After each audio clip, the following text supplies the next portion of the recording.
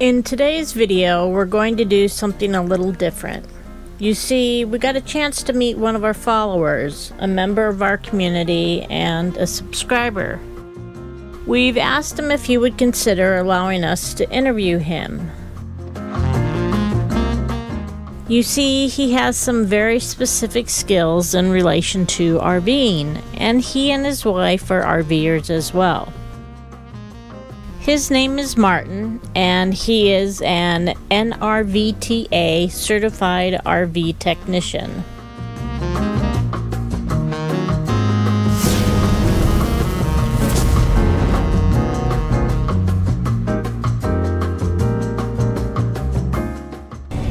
You know what's always fun is meeting one of your followers, one of your subscribers when you're a creator on YouTube.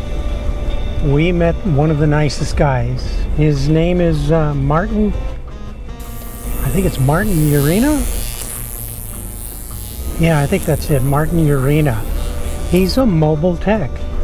And the great part is, is we've had people ask us who we would use if there was ever a problem with uh, their rigs, uh, even even just at this park. And we don't really know anybody special or different. We've never had to use anyone before. but the good thing about this is that Martin's in the area right now. He's going to be here for a little while. And he provides services to most of the Phoenix Valley and and other parts not too super far away. I mean, you got to remember that good help doesn't come cheap, but you don't end up having to pay to have it done over and over and over again. He's one of these guys that actually took the initiative to become a uh, an RVer like us, and he went to the NRVTA training school, the big red barn with the uh, Mr. Beard himself. Martin spent the time, his time and money to be there to learn how to become a service tech. And so he is a certified RV technician. We very rarely ever put any, out any recommendations about anything or anyone. But this time, when it comes to our community, and if there's anybody that needs assistance, Martin would probably be a very good source. Name of his company is My Mobile RV Tech. And uh, I don't know if you can see that or not, but that's Martin's card.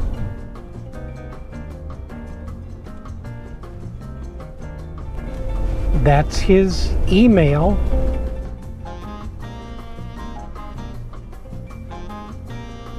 And besides being a very nice person, a very good person, Martin seems to have really good knowledge of uh, of RV technical uh, services.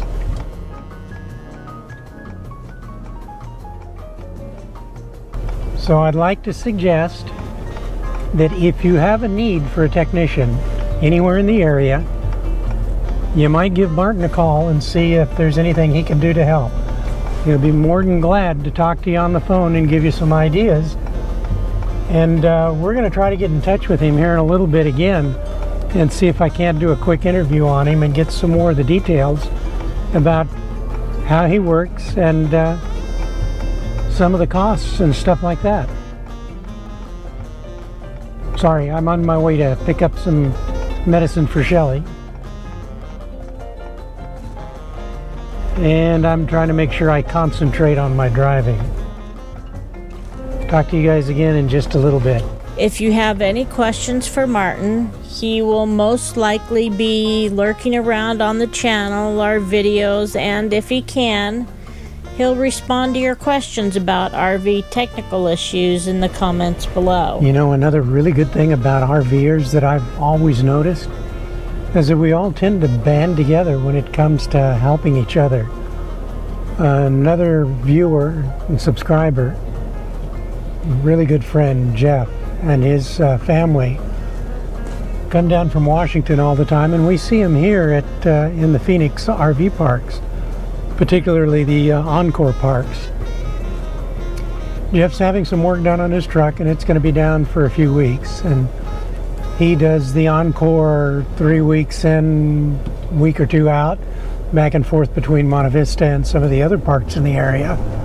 And while his tow vehicle is down, he just kind of offhanded asked if uh, we'd be able to help out. And I said, yeah, absolutely.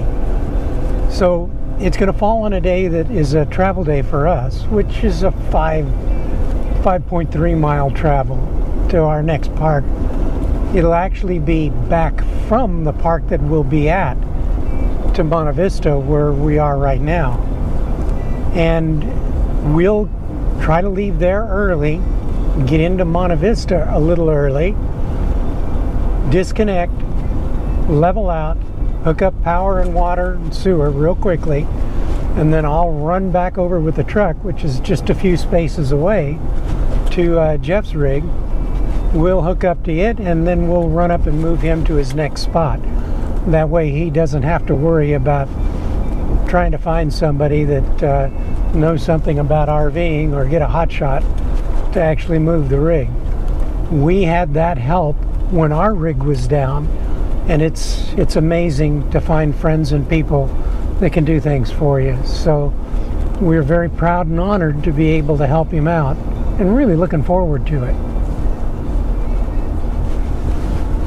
One of the main things I like to do is I like to teach people.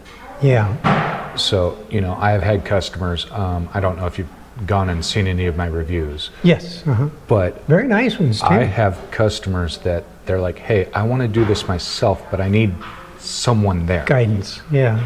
And so I do that at a much, much lower rate than when I'm actually awesome. working on it Yeah. because I'm just teaching them Right. Uh huh. and they love it. Oh, absolutely. Well, the NRVTA, they've they've got their the, the rig owners course, don't Mhm, they? yeah. So they're big about doing that as well. Um, have you ever watched any of Changing Lanes, Chad and Yes, Tara's? Changing lanes. Where he um, took that course, a portion of it. Yeah. Uh, what is it? Less junk, more journey. Less Junk, More Journey. Yeah. you know, um, I like them. I watch them a lot. Yeah. Um, my RV works. Yes, I've seen them Honestly, too. Yeah. so he he was an NRVTA instructor actually, Oh wow. Okay. and he occasionally comes down. And I was lucky enough that when I was down there, he was there, Oh, fantastic. and he stepped in partially on our AC course Yeah. for air conditioners. God, that's great. and it was amazing. And the guy is great. I mean, his YouTube videos, if if you have some basic knowledge, Mm-hmm. he can help you fix anything. Yeah. Oh, that's really great. Yeah. We, we look forward to it. It's especially in today's time. Everybody's struggling, Oh yeah, and it's hard. And one of the first things that I want to get out is that um, number one, this is Martin, and it's Urena. Urena. yeah. This is Martin Urena, and uh, he is an NRVTA graduate technician, and he's here in the Phoenix area. One of the things that I've come across a couple of times, uh, some of the different parks that I've been in while I'm here, is people asking me who I would recommend to do some work on their rigs, and they all see some of them call them lot lizards. I know for the 18 wheelers that's got a whole different connotation, but for for for the RVers it tends to be the guys that get into the park and just kind of cruise around looking for something that might oh your awning's got a tear in it hey we can do it for this price and stuff like that. And you still end up paying a small fortune for it and you don't necessarily know what you're getting. Some of these guys just bought a truck put a fancy name on it have no real training other than some basic mechanical knowledge and they're going at it willy-nilly to fix it up. And you don't know if there's any guarantee behind it if they're going to do a good job or what. So it's nice to know that part of your community here on uh, our license to travel some of the people have got some amazing credentials. Like right now martin himself here is a, a, a graduate and he's out doing the important things to help us stay on the road so one of the first questions i got for you is the training itself um, where did you get it and can you kind of explain it to the people that don't really know what that is So I went to the NRVTA. Mm-hmm. uh, which is in Athens, Texas. That's just southeast of Dallas, I think it is. Dallas Fort Worth, yes. Yeah. And um, so it's really great. It's at the Texan RV Park. Oh, okay. So they have an RV park there. So you take your own RV when you go there Mm-hmm. because you're going to have to practice on it. Ah, If you don't have an RV, they have uh, cabins, yeah. and then you find a buddy while you're in class, and then you work, Work on with him on it. Yeah. Yeah.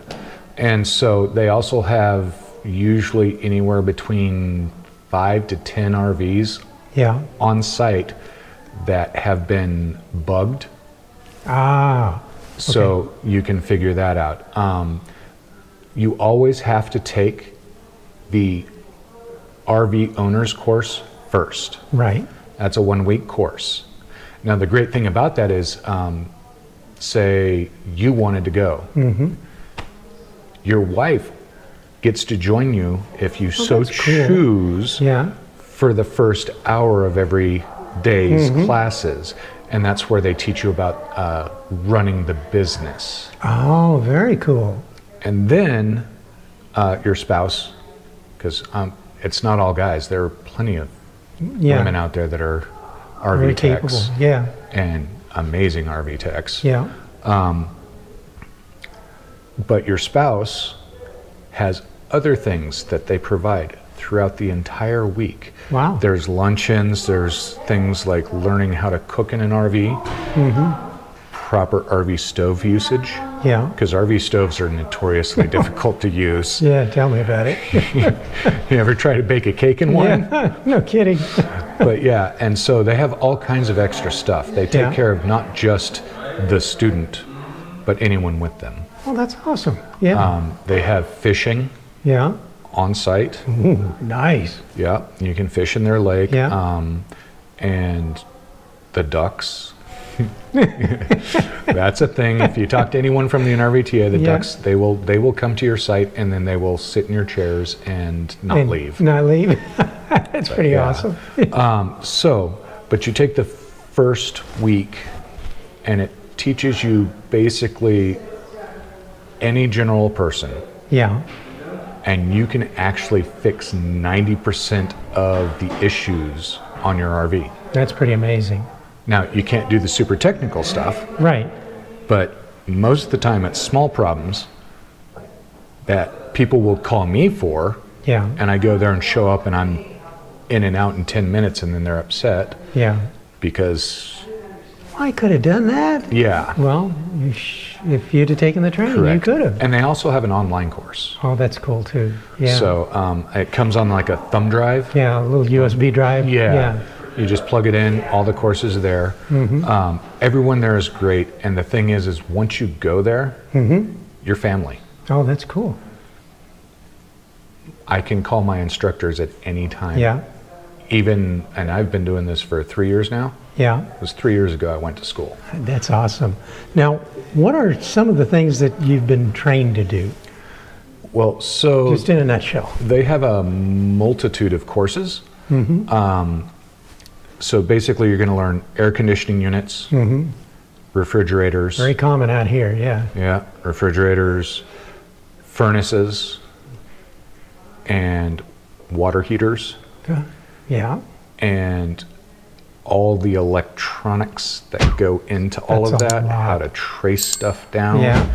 You're going to learn how to find shorts. You're going to learn how to replace equipment. You're going to learn how to make jacks work when they don't, Very good. both Slide outs? hydraulic and electric. Yeah. Slide outs. Wow. Um, there is a there's a guy there, uh, Chandler Cooper. Mm-hmm. Um, he actually has uh, his own business. He makes tools, Ah. and they're amazing. Yeah. But they teach you how to do everything without those tools. Yeah. That's awesome. That's really good. And Chandler was my exteriors teacher, Yeah. so we were working on slides and jacks and stuff like that. Yeah. And they literally had a couple of frames, just frames, Right. no bodies on it, just frames. And we Well, that's learned cool, so everything on how yeah. to do it. Yeah. Very cool. Um, one of the other things I'm sure some of the people will ask is, do you give estimates? I do. If it is requested, I can do an estimate. Okay, Um, the only problem is, is to do an estimate, I have to show up. right. So the customer would have to pay my service call fee. Now, most people don't realize that anytime you call a technician out, you're going to pay to have them come. It doesn't matter who or where it is. If they have to get in their vehicle and drive to your location, it costs them time, gas, money. So they need to be compensated for it because this is a business and they have to feed their families as well. And vehicle wear. And the vehicle wear and tear, yeah. Yeah. Do you do pre-buy inspections? I am not a certified inspector. Okay. I am just an RV repair But they have a course for that, don't They they? do. They Yeah. do. It's um, three weeks, I believe. Yeah. In fact, I think there's one right now in the park, a couple aisles over from us. They're a YouTube channel family, Mm-hmm. and uh, they uh, they do the ins- a lot of the inspections. Yes, and Yeah. there's a lot of people that do do inspections. Unfortunately, uh, I myself do not. Um, Okay. I have checked over RVs for people Yeah. as a technician, Right. But um, inspectors they go way more in depth. They I- like check fluids and everything. It's Where are you located? uh, right now I'm located in Mesa. Okay. So, how far will you go to do work? So for my basic service call fee, which is uh, hundred dollars, Yeah. and I know that sounds cheap. expensive, No, it's cheap. but I go 50 miles, and then it's a dollar a mile after that. After that, that's Yes. that's not bad at all. Yeah, Yeah. that's pretty good. And I do cover the entire state of Arizona.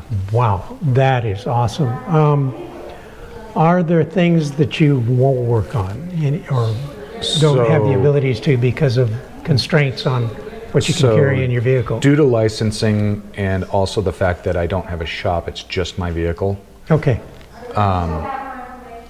In the state of Arizona, there are some licensings that you have to have special insurance to Yeah. do for, like, say, drivetrain, motor work, yeah, uh, suspension, things like that. yeah, gotcha. So I don't generally do that. I can, you know, I can repack wheel bearings, wheel bearings and stuff like change that, Change tires, right. stuff like that. But I can't actually like change out an axle. Gotcha. I understand. I can't pull a slide out and put a new one in. Do you do warranty work?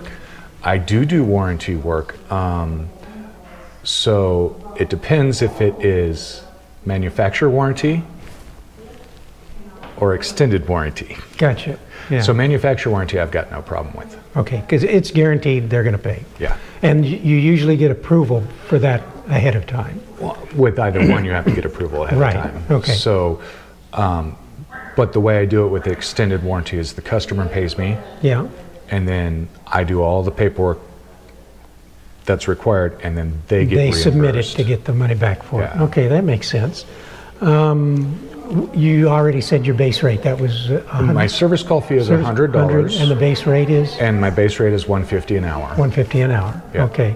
Would you, well, I guess, there's no way to tell what an average job is, so I'm not even going to go there. Well, actually, um, generally most of my jobs are under an hour.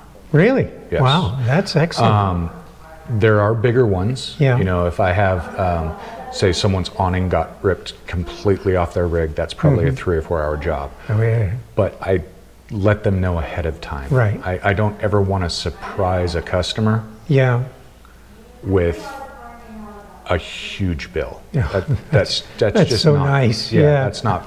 Yeah. that's so good.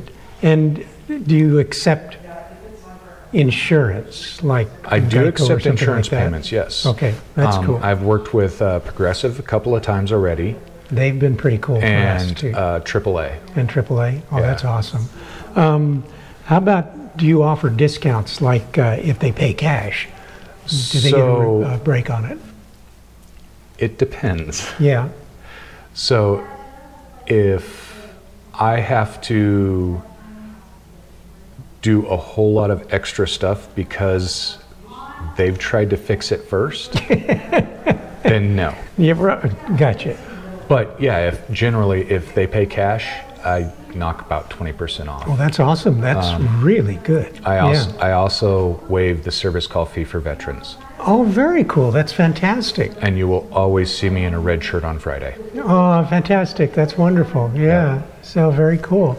Um, my questions were just the absolute base and most basic of all. Are there any other things you can think of that you'd like to tell our community? Well, any anyone who can really should think about taking that basic course at the NRVTA. Yeah. And I, I get no kickbacks or no money from this, so this is just honest, Right. my honest opinion. Right. Um, and sorry, I, but uh, That's okay. that basic course yeah. will save you so much grief. Oh, I I can believe it. Uh, my dad was an air conditioning refrigeration mechanic down at Fort Huachuca for eons, and a little bit of his knowledge rubbed off on me. I can check a capacitor on the ACs on the rig. I can change out a motor if I had to. Make sure you discharge them first. Yeah, I do. I'm, I've been looking at buying an actual discharging unit rather than using my insulated screwdriver. I hate surprises. As a firefighter, mm-hmm. when I worked for Mesa, the one thing we respected more than anything else was electricity. Mm. If it was on the house side of whatever was going on, I'd flip the breakers. That's fine. Yeah. Anything else, I won't touch. When it comes to RVs, if I can't take care of it by flipping the main pedestal breaker, I don't want anything to do with it. I want someone that knows what they're doing to be in there squirreling around underneath rather than me getting fried by it. Oh yeah. Well, and the thing is, is there's three different electrical systems in an RV. Oh, yeah, because you've got the 12 volt system. You've got two 12 volt systems Yeah. and a 120 volt. Oh, wow. Well, that was something else I was going to ask. Sorry, I didn't mean to interrupt. But um, do you do solar stuff? I do. Okay. I do. Um, in fact, I installed solar on my own rig. Did you really? Yeah. Um, Do you do I've you got- Victron or anything like that? Is there a specific brand or? It depends on what the customer is willing to pay for. Ah, gotcha. Victron's Now, probably the mine, upper end. Mine, I did uh, Sun Solar and got all of my MPPT controllers and everything off of Amazon Oh, very cool. because I went really cheap. Yeah, but Um, it still does its job. Yeah. Um, and then I couldn't, uh, I really couldn't justify paying for Battleborn batteries. No, I I know a lot of people that can't. There's, So then there's too many other new ones that are coming up and out. Well, I, so- I like the idea of supporting an American company, but then again, I don't have the funds to be able to invest in them like that. Well, for close to $300 less, Yeah, um, you can get uh, Big Beard batteries, yeah, uh, and that's Todd Henson again through the NRVTA. Yeah. You know, but he created his own lithium batteries wow, that are just as good as Battleborns, yeah, over twice the capacity because Battleborn's cow. generally 100 amp hours. yeah. His smallest is 280 amp hours. What would you assume or guess a about I don't know a, a thousand watts of solar would cost to put in? Just general. If, if you want a thousand watts of solar, depending on if Mm-hmm. you want um, monocrystalline, I have no idea what the difference Okay. is. Yeah. So there's different types of solar panels. Um, top end, I'm saying probably about six grand, yeah. and bottom end, and and this is just for a simple, just 1,000 watts. Yeah. This is not with an inverter. Probably bottom end, you could get away with it, maybe five grand. Yeah. So if you go with an inverter, you're looking at so you could do the whole house setup. Yeah. About how much for a decent And inverter? Inverters and converters, um, depending on how you want to do it. If you want to, like, say, run an AC off of Yeah. solar, which a lot of people want to do, Everybody seems to want to do that. and yeah. Mm-hmm. it's really, really difficult because you actually have to step up 12 volt battery power yeah. to 120 volts, Oh, yeah.